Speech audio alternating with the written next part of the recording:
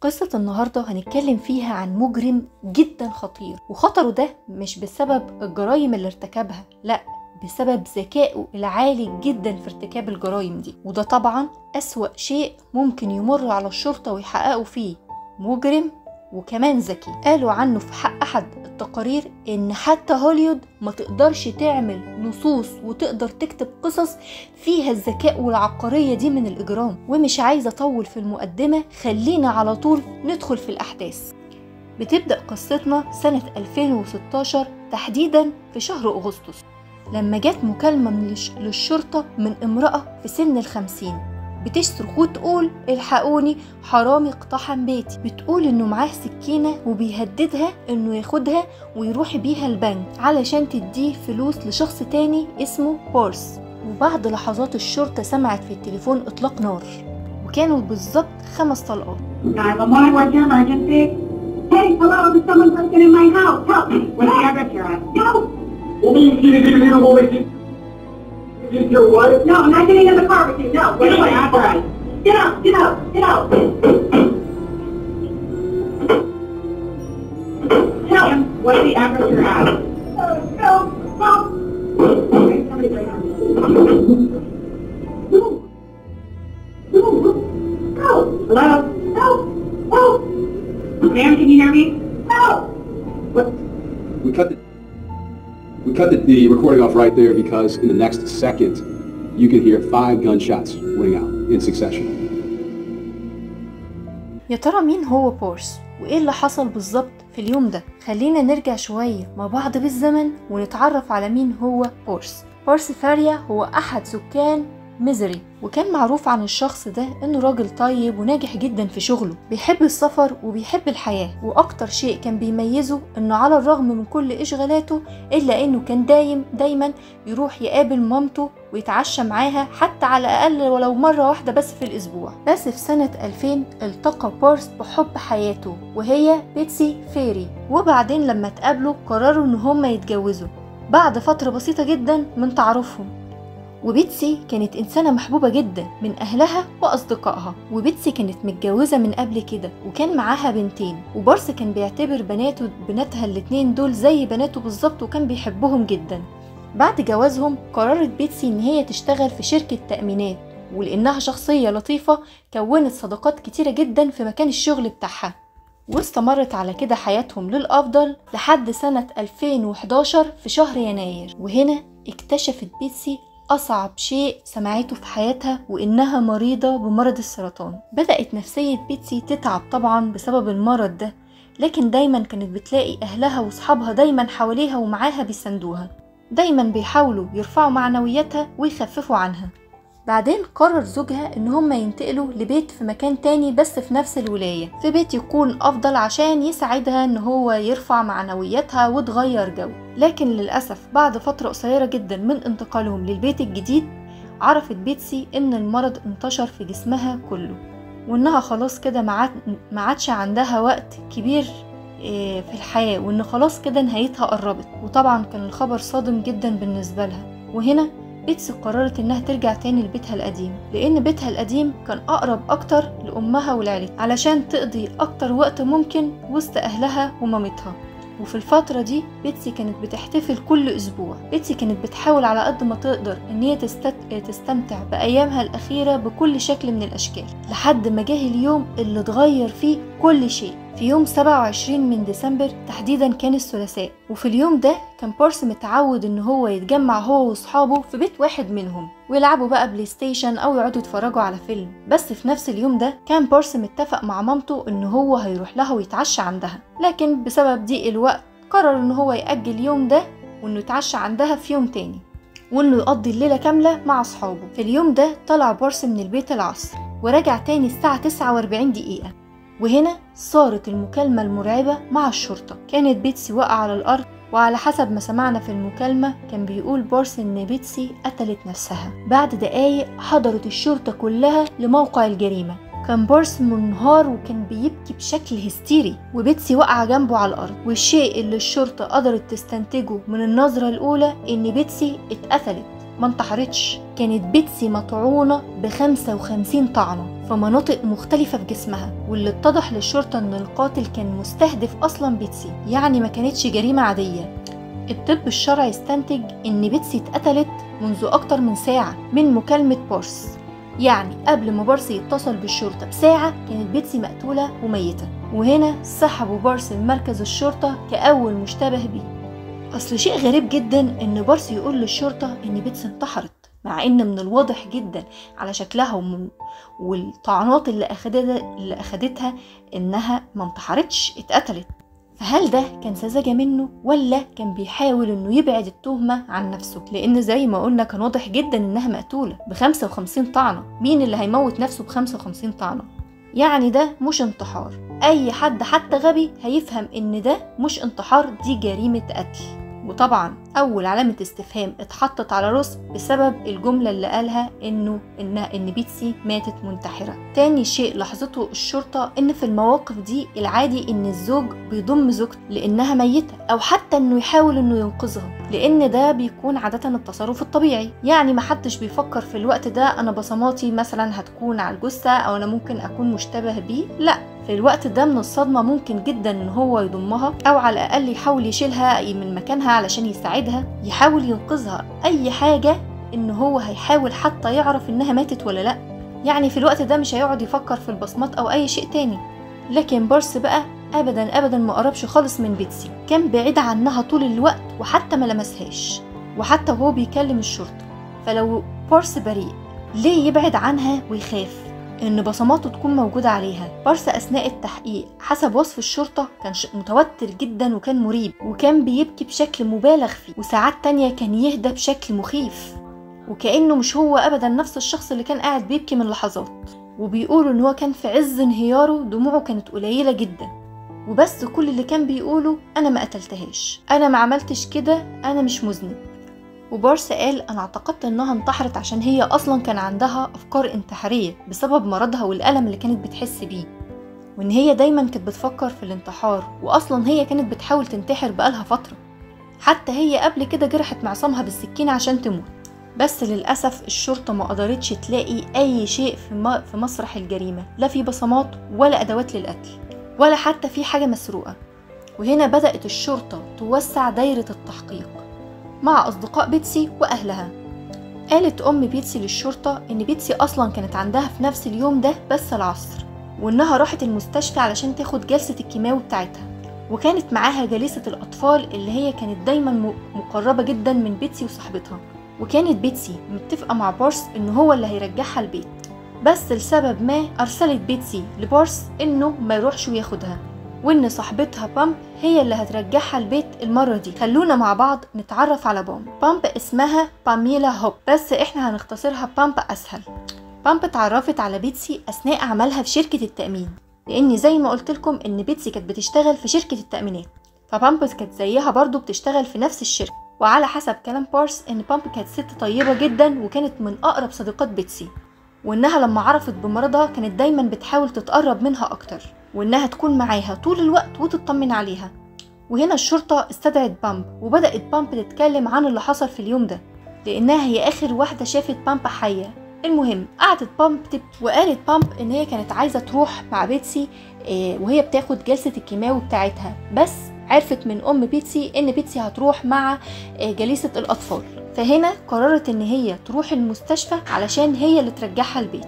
وقالت أنا لما رجعتها البيت رجعتها البيت الساعة سبعة مساء وكان البيت مظلم جدا ومخيف وبتكمل بامب وبتقول إن بيتسي قالت لها إن هي ما عندهاش مفاتيح البيت وإن بارس ساب لها باب البيت مفتوح قبل ما يروح عند أصحابه وهنا خافت بامب إن هي تسيب بيتسي لوحدها في البيت من غير مفاتيح. بتقول فدخلت وقعدت معاها ربع ساعة تقريبا وبعدين سبتها ورجعت بيتي. وبتقول وهي راجعة مروحة بيتها تاني بعتت رسالة لبيتسي بس بيتسي مردتش وهنا زاد خوفي عليها. بعدها كلمت أم بيتسي وبعدها أم بيتسي بدأت ترن عليها كتير لكنها ما كانتش بترد أبدا. لكن أمها كانت بتقول إن أنا ما حسيتش بالقلق لأن من الطبيعي إن بيتسي بتحتاج وقت تنام فيه بعد جلسة الكيماوي. الشرطة سألت بامب عن سبب دخولها مع بيتسي البيت بعد الجلسة. فقالت بامب إن بيتسي هي اللي عرضت عليها إن هي تدخل معاها وإنها تقعد معاها شوية في الصالة. وبعدها بامب غيرت أقوالها وقالت إن بيتسي طلبت معاها إنها تدخل معاها أوضة النوم علشان تفرجها على مجوهراتها. وبعدين للمرة التالتة غيرت كلامها تاني وقالت إن هي ما دخلتش البيت أساسا.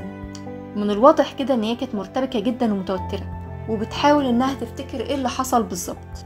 والتخبط اللي كان بيحصل في أقوالها وإنها بتغير كلامها كتير الشرطة اضطرت إنها تعرضها على جهاز كشف الكذب.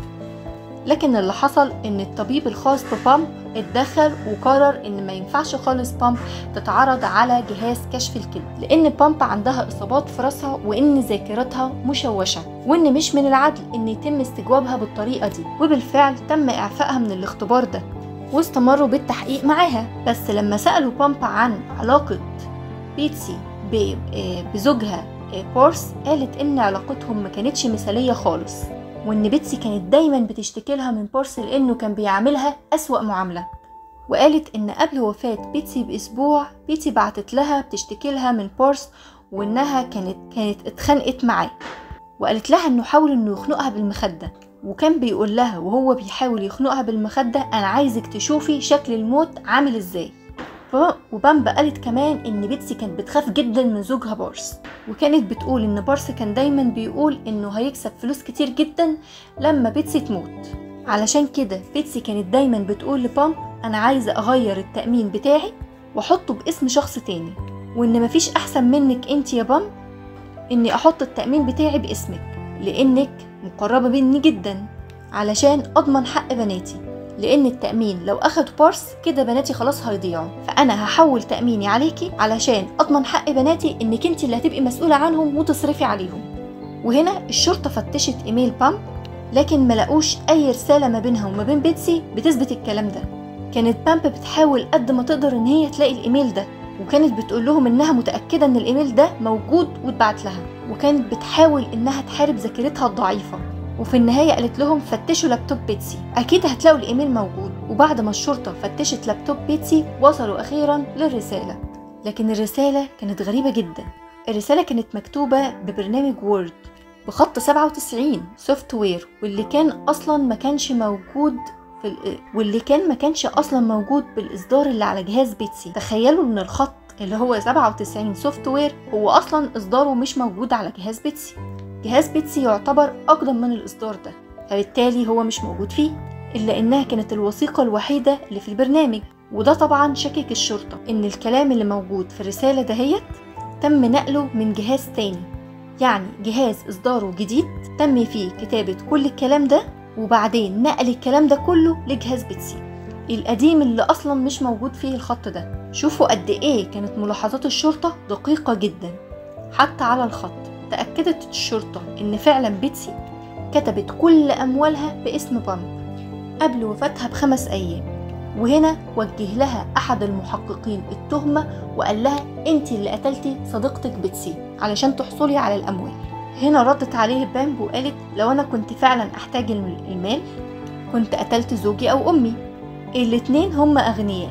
وفي كتير جدا عائلات غنية حواليا. ليه أطمع بقى في صديقتي المقربة؟ اللي استأمنتني على فلوسها. بس فعلا صحابها كتير جدا كانوا بيقولوا بيشهدوا إن هي كانت دايما بتشتكي من بارس وكانوا بيقولوا إنه دايما بيضيع فلوسها وإنه شخص غير مسؤول. وهنا ترجع تاني أصابع الاتهام تشاور على بارس مرة تانية. خلونا نرجع تاني ليوم الحادثة وخلونا نركز ونتبع تحركات بارس. في البداية طلع بارس من بيتهم خمس خمسة مساء.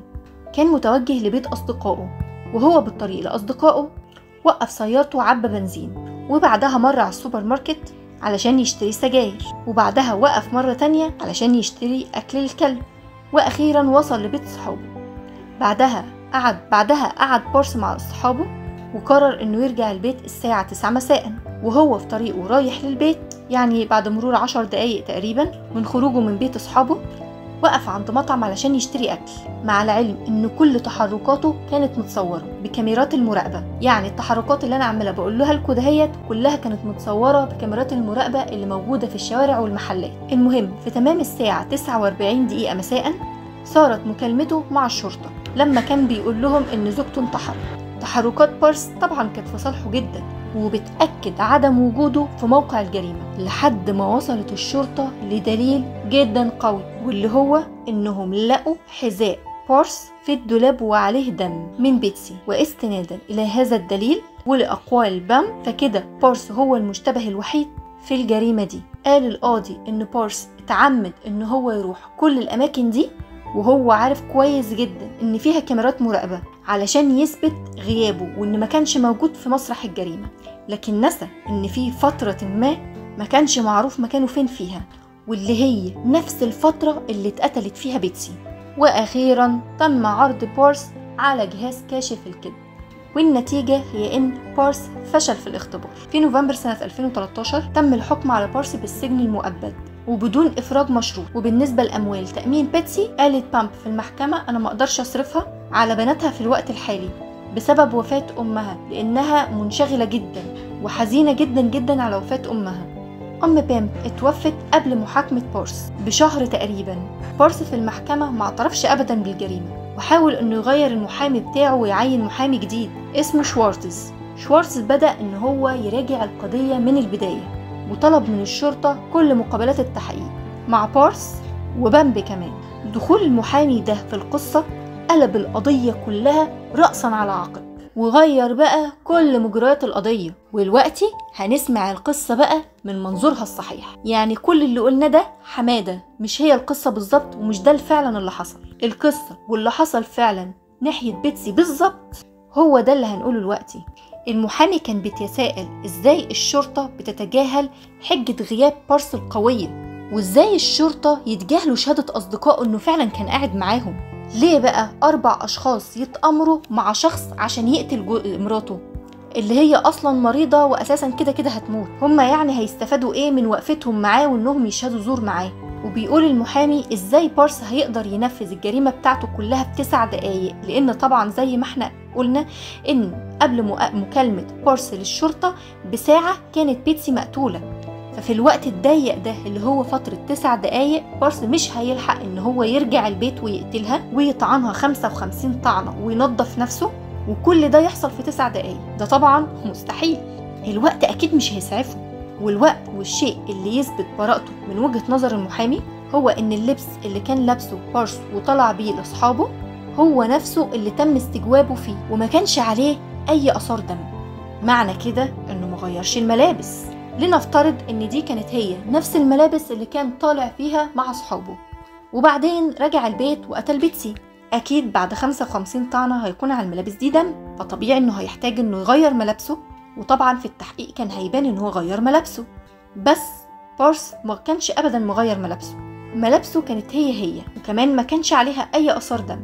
المحامي كان متأكد مليون في المية من براءة بورس وكان متأكد إن في حلقة مفقودة في القضية دي وإن الجزمة اللي كانت موجودة في الدولاب واللي كان عليها دم بيتسي واللي هي تعتبر أقوى دليل ضد بارس احتمال كبير إن يكون القاتل هو اللي حطها وتعمد إنه يحطها في المكان ده علشان يلبس بارس البريء التهمة دي.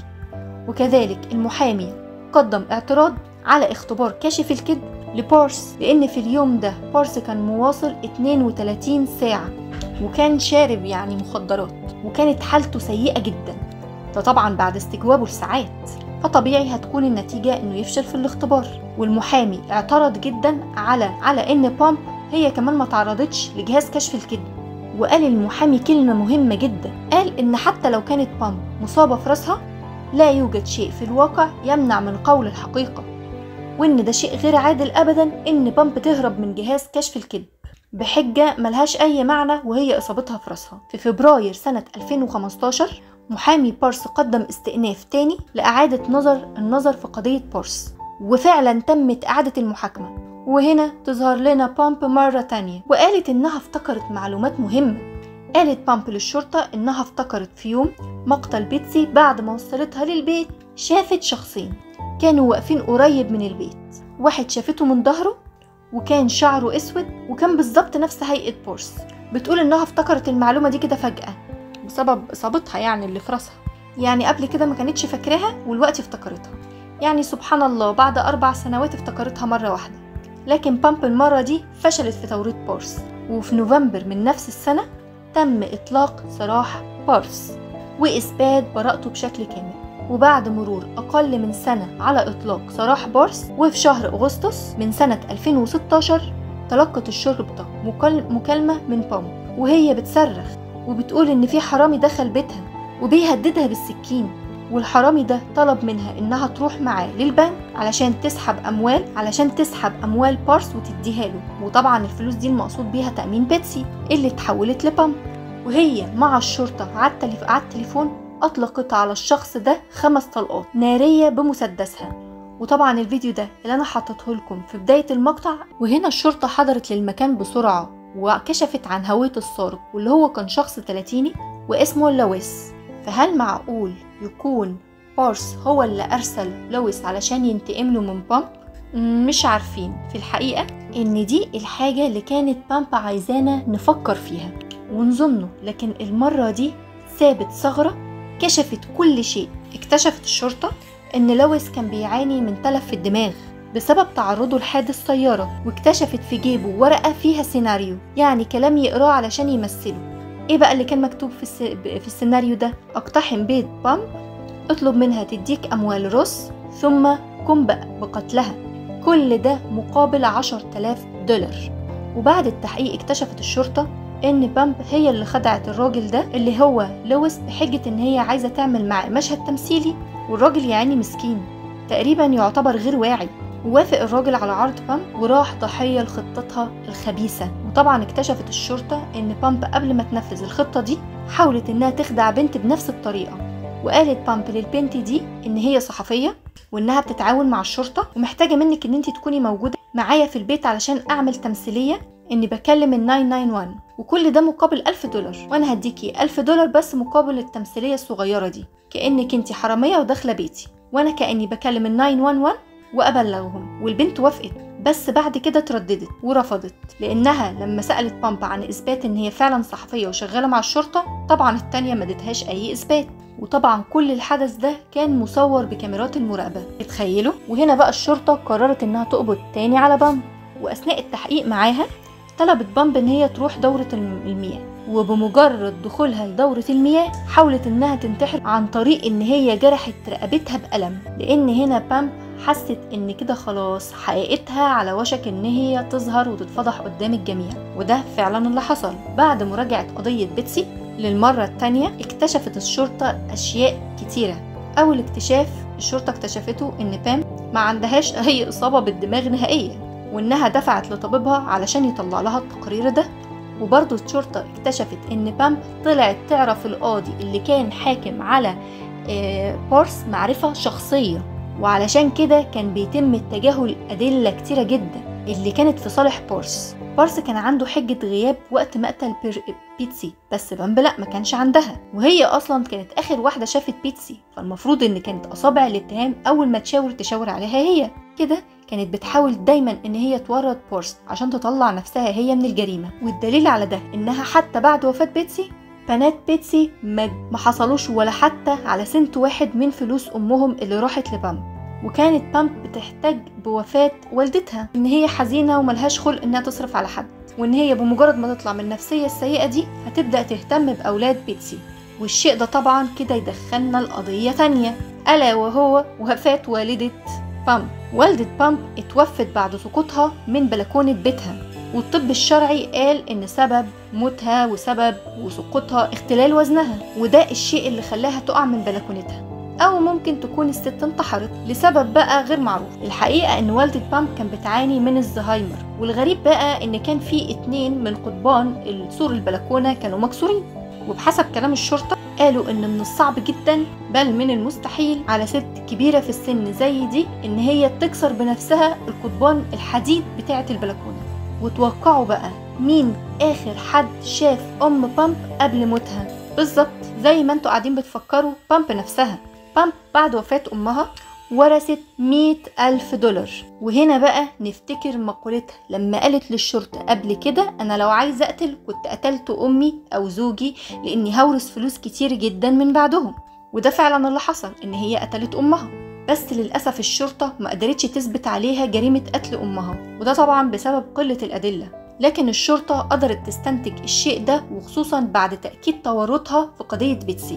بام ورثت 100 ألف دولار من أمها وكذلك من بيتسي 150 ألف دولار.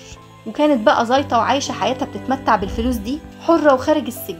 بعد ما قتلت شخصين وتسببت في سجن شخص ظلم اللي هو بارس. وأخيرا في يونيو سنة 2019 تمت إدانة بام بتهمة قتل بيتسي ودي قضية قتل من الدرجة الأولى بعد قضية حيرت الشرطة لمدة 8 سنوات وتم الحكم عليها بالسجن المؤبد.